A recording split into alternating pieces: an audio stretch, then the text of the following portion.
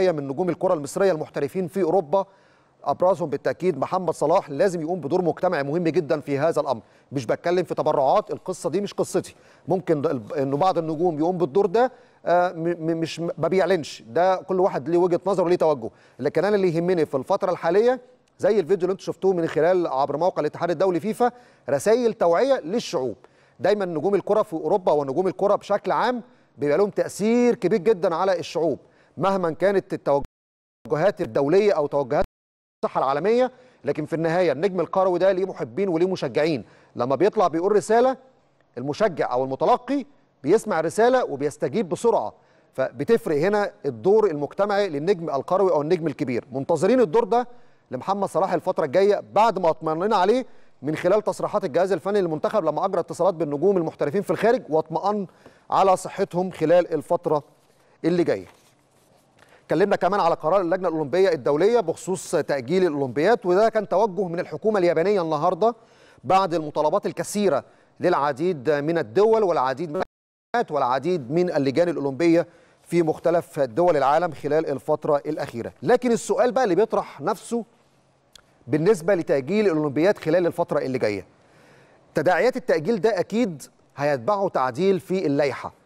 لأن على سبيل المثال لو بتكلم على كرة القدم تحديدا الاتحاد الدولي حاطط شروط في معدل الأعمار السنية اللي بتشارك في الأولمبياد. الأجيال اللي شاركت في التصفيات المؤهلة للأولمبياد طوكيو الصيف الحالي أكيد مع الصيف القادم عمرها هيزيد سنة. وتتذكروا طبعا الجزء الفكاهي أو الترفيهي لما البعض كان بيتكلم على رمضان صبحي هيفضل كده كتير مواليد 97 مش هيكبر هي حصلت أهي. جت أولمبياد طوكيو وسنه السنة الجاية في أولمبياد طوكيو هيبقى 24 سنة فهيتخطى سن مواليد 97 لكن اللي جاي أكيد لازم يحصل تعديل لأن مش معقول أو مش من اللائق الجيل اللي شارك وتأهل بالمنتخب إلى الأولمبياد يجي موضوع الأعمار السنية أو معدل السن لما يتخطى 23 سنة السنة الجاية مش هيلعب أولمبياد. أكيد هيحصل تعديل من الاتحاد الدولي في هذا الشأن لأن لو ما حصلش تعديل أنت بتتكلم عن كل دول العالم اللي اتاهلت للدورة الأولمبية هتبدأ تحضر أجيال جديدة للسنة الجاية لأن معظم الأجيال اللي شاركت في التصفيات وتأهلت طبيعي على الأقل تحديدا كرة القدم مش هتبقى موجودة الدورة الأولمبية الجاية. فطبيعي هيحصل تعديل سواء من اللجنة الأولمبية الدولية أو حتى من الاتحاد الدولي فيفا لكرة القدم اللي رحب النهارده عبر موقعه الرسمي بقرار اللجنة الأولمبية الدولية بتأجيل الاولمبياد حتى العام المقبل وليس أبعد من صيف 2021 طيب آه كمان بالنسبة للمرحلة اللي جاية آه اللجنة الأولمبية أكيد هيبقى عندها خطط لمواجهة هذا الإيقاف ووضع خطط بديلة بعد هذا التأجيل خلال الفترة اللي جاية. أكيد تزامنا مع القرارات اللي تم اتخاذها بالنسبة لتأجيل الدورة الأولمبية. كابتن شوقي غريب كمان قايل تأجيل اولمبياد طوكيو ده كان متوقع وسنعيد ترتيب خطتنا في عام 2021 مصدر باتحاد الكورة. يمكن ده بقى نفس السياق ونفس الحوار اللي كنت بتكلم فيه من شوية إن تأجيل الأولمبياد هيزيد من فرص استمرار الدوري حتى أغسطس القادم. طبعا تأجيل الأولمبياد ده خلاص إدى مساحة لكل الاتحادات في العالم إنك الدوري لو انطلق في خمسة أو في ستة يا رب بإذن الله بعد ما يتم الحد من انتشار هذا الفيروس.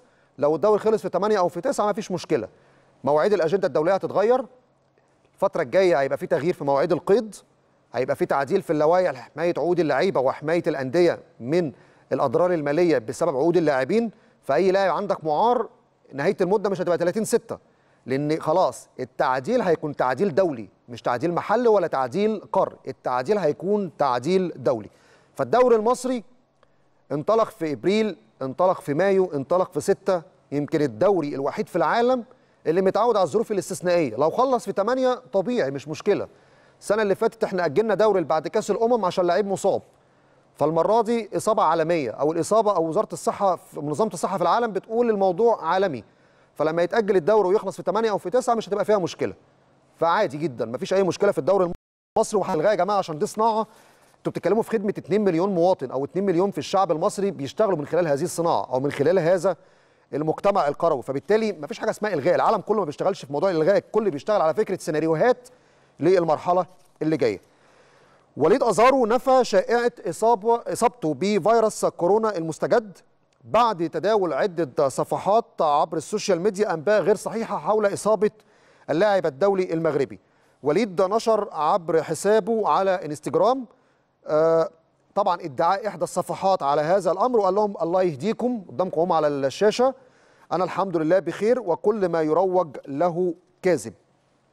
وليد من أوائل اللاعبين اللي ابتدى يشتغل على فكرة تحدي الخير والكل في المنطقة العربية مشي على نفس نهج وليد أزارو خلال الفترة الأخيرة. سعد سمير وليد سليمان طارق حامد كل اللعيبة بقى اشتغلت على نفس النهج الفترة الأخيرة واشتغلوا على تحدي الخير والكل يشتغل على التكافل الاجتماعي خلال الفترة الحالية. كمان الاتحاد التونسي نشر امبارح بالليل آه صورة من آه تبرع لعلي معلول لصندوق آه مكافحة انتشار فيروس كورونا في تونس. لكن طبعا تم إخفاء القيمة المالية.